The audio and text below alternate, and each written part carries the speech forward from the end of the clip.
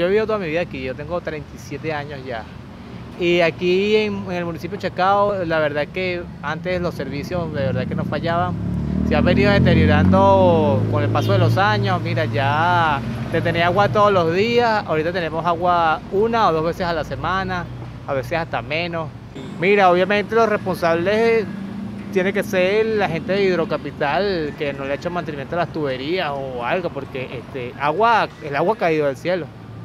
Las soluciones escapan ya de las manos de los ciudadanos, la, la- la gente competente, como te dije, Hidrocapital, el gobierno, son los que pueden dar soluciones. Y, y meses que no tenemos agua, meses.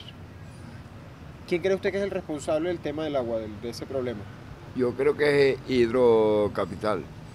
En el edificio lla- llamamos a, a- a Hidrocapital y nos dicen, no, que, que tenemos un tubo roto, siempre están con el tubo roto y, y- y es, y. Tendríamos que salir a la calle todo el mundo y, y- y trancar la, la avenida, pero nadie lo hace. No, eso está todo mal. Aquí todas las tuberías que están metidas abajo está todo eh, deteriorada.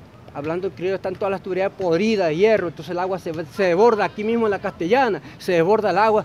Un bote de agua, porque es una tubería que tiene más de 40 años toda podrida ya, entonces el agua sale, sale, sale por la calle y se inunda toda esta cosa aquí, en lugar de ser aprovechada para nosotros.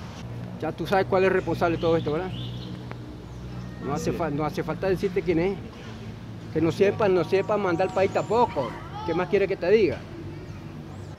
20 Venezuela está acompañando las denuncias de todos los ciudadanos y en el municipio de Chacao, 20 Venezuela está en la calle.